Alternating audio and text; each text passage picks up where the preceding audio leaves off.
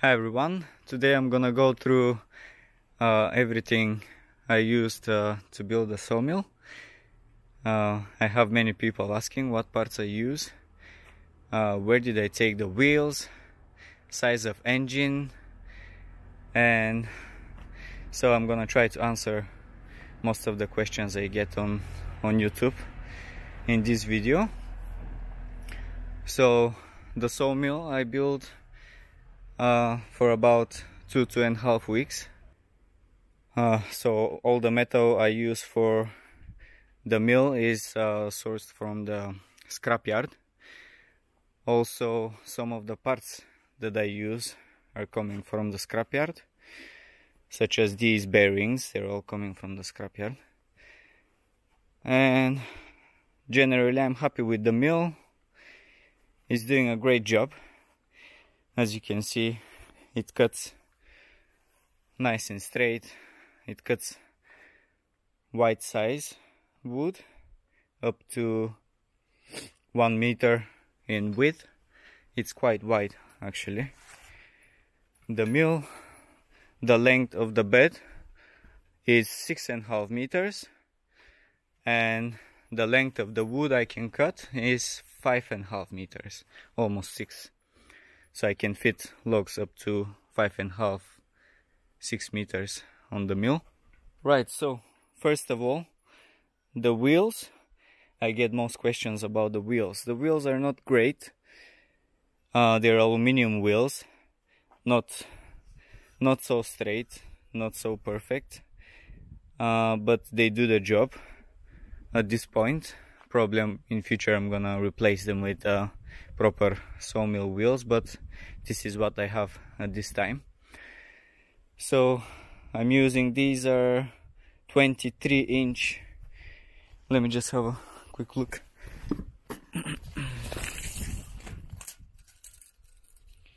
Let's just have a look. Yeah that's about 23 inch in diameter the wheels and if I'm not wrong they're handmade. You can see they're aluminum uh, casted wheels. They're very rough but they're balanced. So they do decent job at this time. I'm not gonna move that bearing from there at the moment but it comes to about 40 what's that? 40 inches I don't know if you can see. It moves to about 40 inches or around one meter in width which is quite wide. That was one of the main reasons I constructed the saw sawmill myself. Right so that's for the wheels. Uh, aluminium wheels very cheap wheels. They costed me around uh, $50 for both for the set $50 not a bad price for these. They did not come assembled with anything only the wheels so I had the, all the parts. So these shafts uh, are handmade to fit them as well as all these fittings on the wheels. Same on the other side I got all these handmade to fit for these wheels which was quite hard to make. And that's new and it's quite expensive actually. That cost me around 70 dollars. Just that bit. Uh, the belt I also got online. You can see that belt tensioner uh, I made myself. Again using things that's all scrapyard stuff here. So I made it so I can flip it upside down. You can see that I had it down. There is no even paint behind it. I had it down. I turn it upside down now to see how it's gonna work with it. Applies more tension on the belt and it keeps it more uh, tight. So I just had it today upside down just to see how it goes. And I think I'm gonna leave it that way I think there is not there is less play in the belt as it runs like this. What else the the length of the blade is 5 5.1 meters. Is quite long. 5.1 meters. Uh, I also got these online. I got two but I haven't used the other one yet as this one is still quite sharp. I haven't used it much uh, blade guides uh, I know they are funny looking but they do the job for now.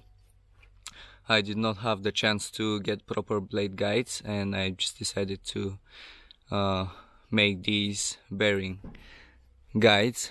You can see I have a, a wide bearing on the top pushing the belt uh, pushing the blade down uh, and keeping it straight from not like going up or down.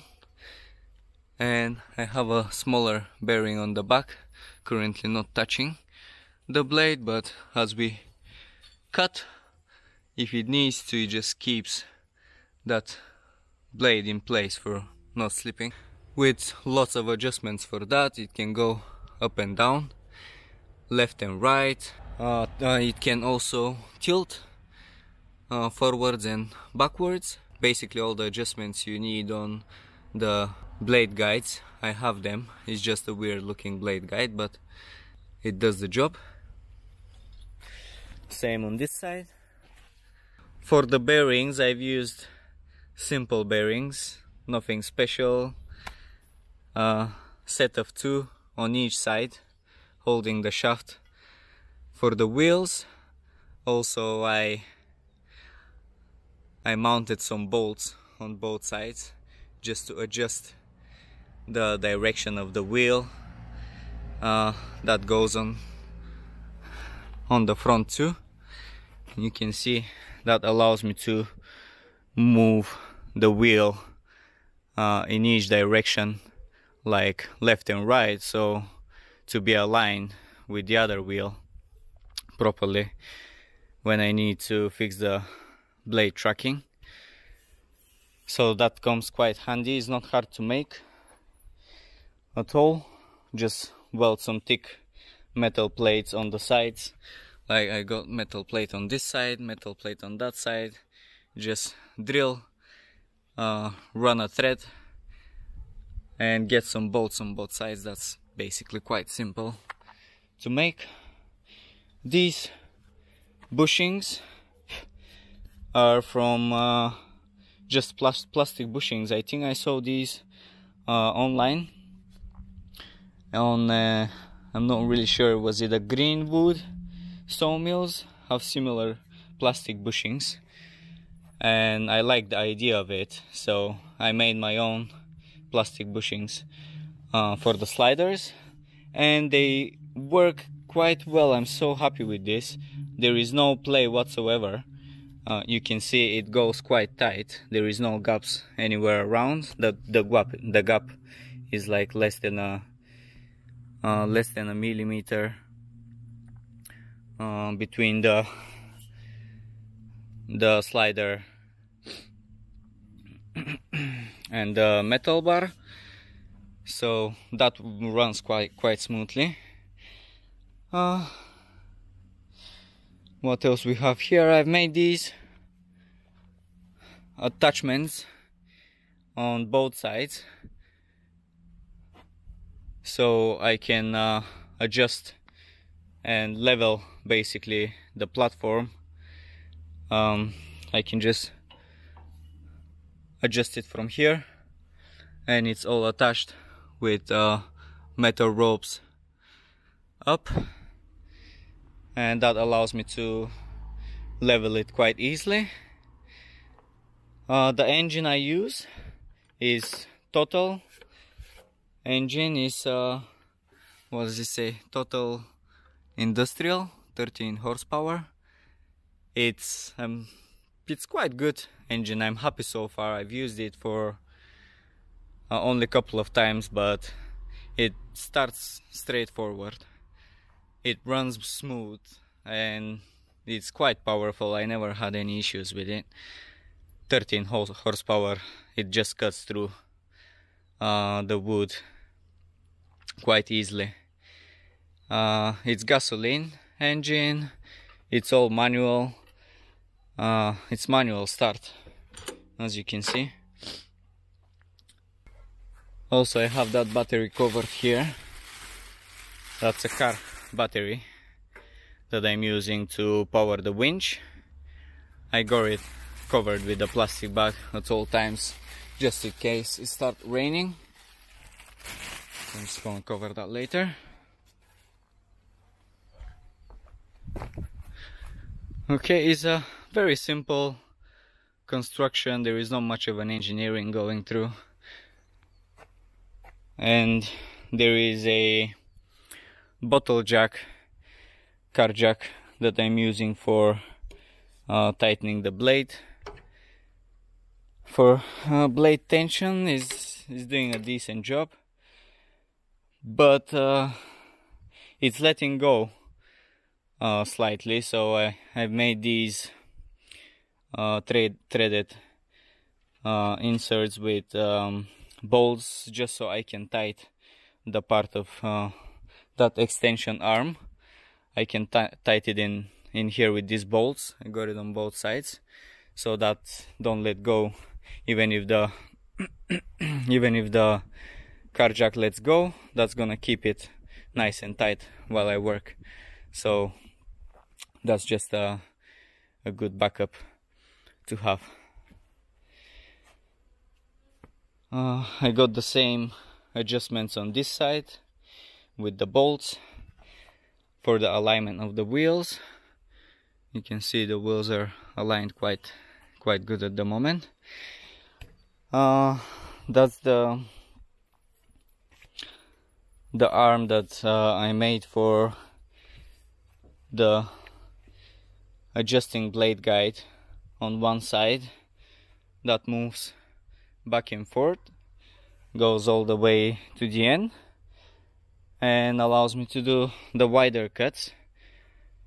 Uh, that's also quite simple just a square pipe running in another square pipe.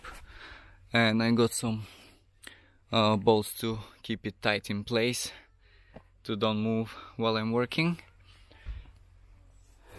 And that slides the whole thing slides on a V-shaped bearings that I fit in this square pipes profile. And it slides on a uh, V-shape profile that is turned upside down and welded to the, the platform all the way to the end.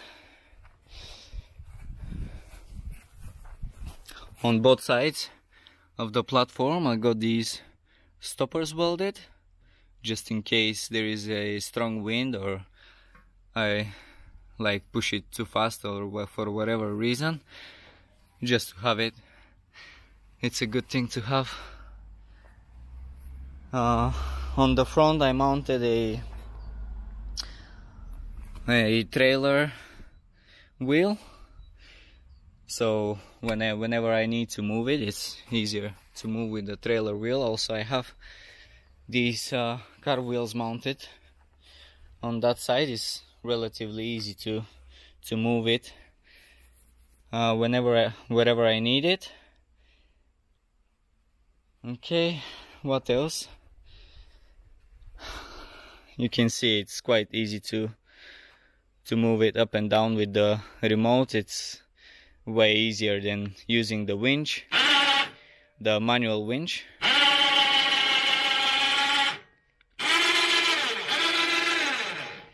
uh, the only problem with this is uh, that it's going quite fast up and down and it does the job for a moment but I'm not totally happy with it and I'm thinking to fit to fit some sort of uh, uh, gear on the top there so to slow it down. Uh, as I said it does the job as it is.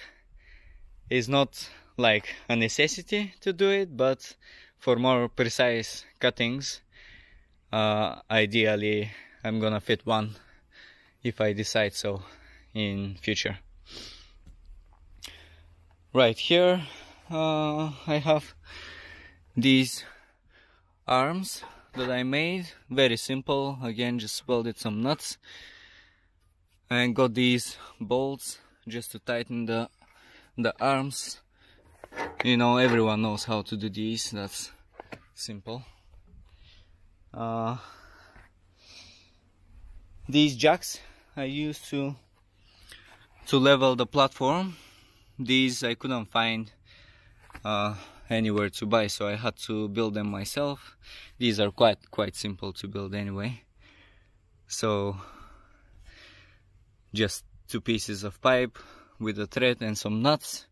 Easy to adjust and level everything these are quite useful but I need to mount another set on the front.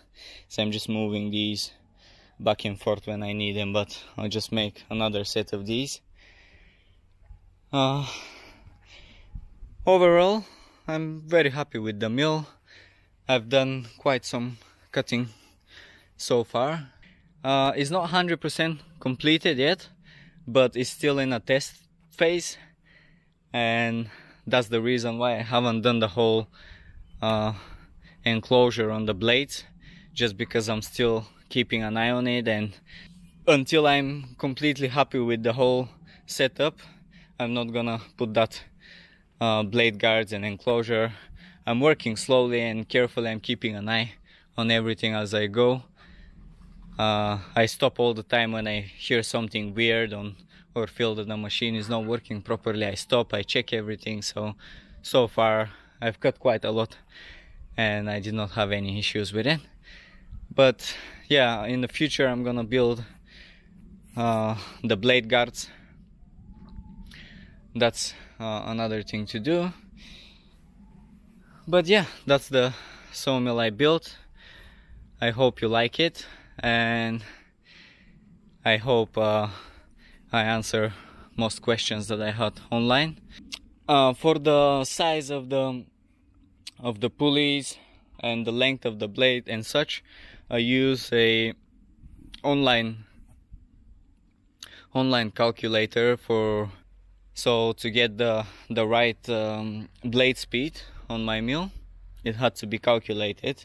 So that's how I choose my uh, belt pulley size uh, lubrication system quite simple. I have a a plastic um, gasoline can uh, on the top just mounted on a uh, real simple like a platform that I made from profiles. I got that with a like a soft plastic pipe going down. One simple valve turn it on and off going all the way down to the blade. Very easy to operate as you can see. And you can turn down the turn the water on and off easy. So that's quite simple. No need to overthink that. There's no need for over complication uh, I think that's pretty much everything about the sawmill. As I said it's quite simple build. Uh, there is nothing too complicated about it. So the total cost of the mill it was just under $2,000 and that includes all the metal uh, and the engine and all the parts that they used for it. Around 1700 1800 dollars roughly I haven't like totally calculated the exact amount but I know it's just under two thousand dollars. Uh, the most uh, expensive part to buy of course is the engine and the most difficult uh, parts to find are the wheels. And with that everything else is just uh, really patience to put things together and to do a little research of course how things work. So uh, for those of you who are thinking to build their own sawmill I'm gonna uh, recommend to do a little research online before getting into building your own sawmill.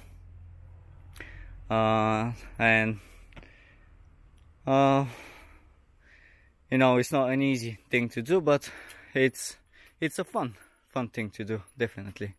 I enjoyed it quite a lot. The only thing I regret is not filming it but I'm gonna film the rest of the build the blade guards and the other the other upgrades I'm doing on the mill. So uh, from now on I'm just gonna film everything I do on. You can see I got some uh, quite wide boards cut today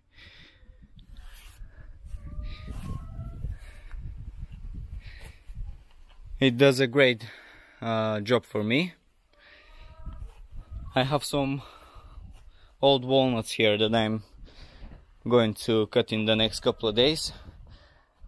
So if you want to see these cut you can just subscribe to the channel and get a notification when I upload that video. Uh, I'm gonna slice these in slabs. I'm gonna make a couple of tables from them these are massive walnuts. I don't know if you can see that's my hand here. Massive walnuts about 70 80 years old walnut trees. This one's quite old